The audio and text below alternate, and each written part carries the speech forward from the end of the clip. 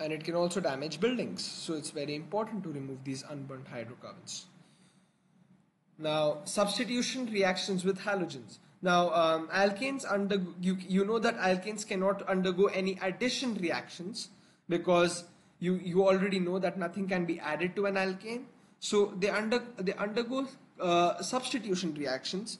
So in substitution reactions, you remove a hydrogen atom and you replace it with the desired with, with another desired atom. In this case, it is chlorine. So actually this equation I have forgot to write plus HCl because you can see that that the hydrogen a hydrogen is being released from here a chlorine is being released from here so both of them combine to form hydrogen chloride now from ethane we get chloroethane and this has chloroethane has one less hydrogen than ethane. So you know this reaction has taken taken place.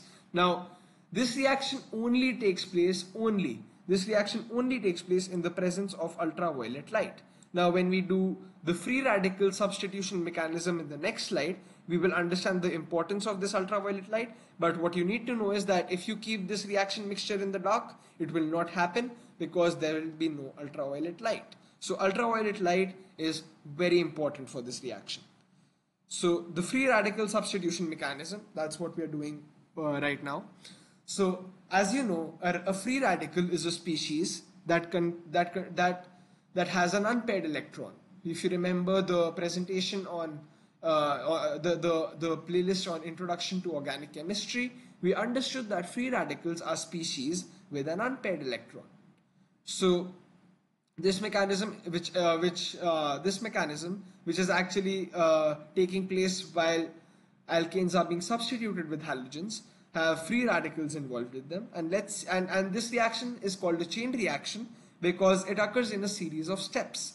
So we it's really important for us to remember all these all these steps because um, we get five marks just to write this entire mechanism in the exam.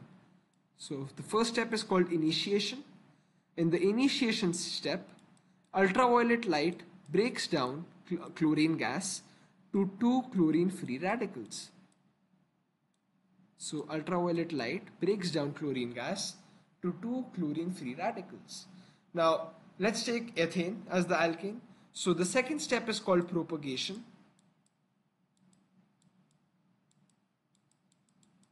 Propagation. So in the propagation step, um, the chlorine free radical, it attacks the, the alkane to give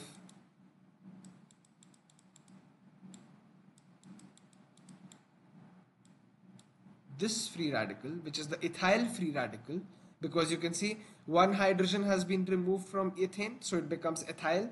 So the ethyl free radical plus HCl, because a hydrogen has been removed has been removed, and the hydrogen radical which was removed, it combines with the chlorine radical to form HCl.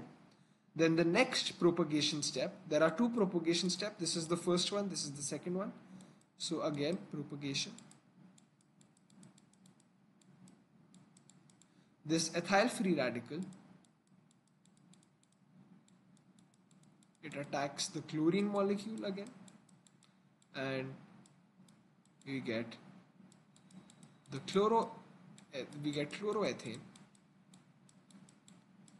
plus a chlorine free radical so basically um, this now reacts with the, chlor uh, the chlorine molecule undergoes homolytic fission. You can see that homolytic fission is taking place because homolytic fission results in the formation of radicals. So you can see that first the chlorine uh, the chlorine molecule breaks to form two chlorine free radicals.